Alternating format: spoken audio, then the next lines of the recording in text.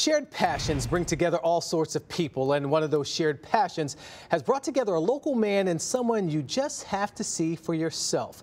News 4's Forrest Sanders reports.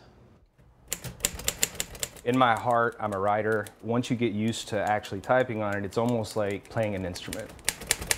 It's called the typosphere. That's the group of people who love the history, the story, behind typewriters. When you shift it, it prints the word coca, and then when you let it out, it prints cola. Kirk Jackson collects, restores, and sells at his business, Nashville Typewriter. So, in finding even more people in the typosphere, he decided to send a letter to a well-known collector of typewriters. And that certain well-known collector of typewriters wrote back and decided he'd like to drop by. My brain kind of shut down for a second. I mean, I just I got up and started pacing around the house. Oh, did I mention the name of that well-known collector of typewriters? And I was like, oh my gosh, oh my gosh, it's Tom Hanks. I just got really excited.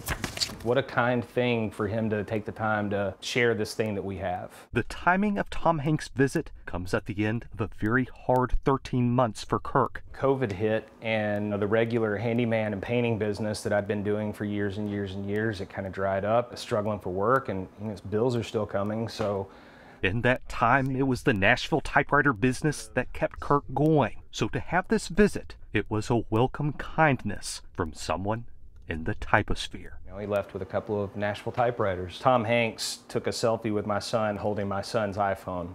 That's pretty cool, man. I'm Forrest Sanders, News 4 Nashville.